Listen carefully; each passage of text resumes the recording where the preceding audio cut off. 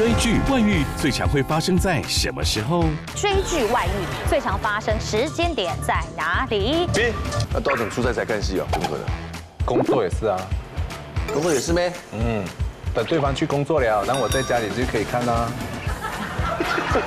来呀，来李龙生，出差就直接真的外遇啦。他是不是很对啊？今晚九点，东森综合台全民新攻略。